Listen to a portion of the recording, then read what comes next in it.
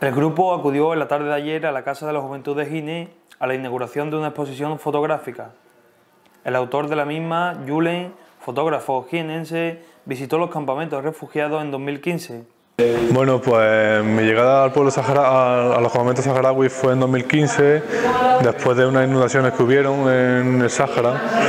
Y pues, por ejemplo, esta foto para mí es única y muestra lo que es el Sáhara, muestra sufrimiento, eh, desconcierto, toda una vida en el desierto, muestra que apenas hay comida, que apenas tienen agua y para mí esta foto es muy significativa.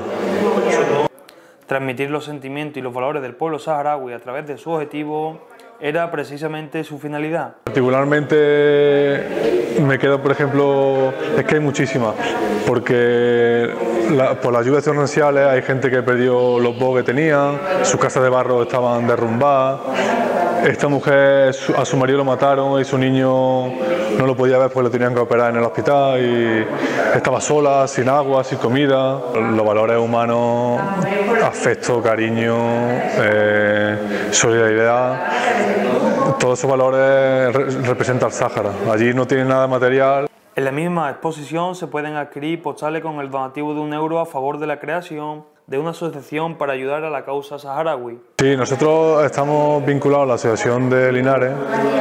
Llevamos unos 15 años mi familia y yo acogiendo niños saharaui y estaremos siempre, siempre vinculados al Sahara. La exposición llegará a Boyullos a principios del mes de mayo. Me encantaría que se reflejara a la gente joven, a la gente mayor, sobre todo para ayudar al pueblo saharaui, porque es un, pueblo olvidado y creo que necesitan muchísimos recursos y creo que necesitan de nuestra ayuda.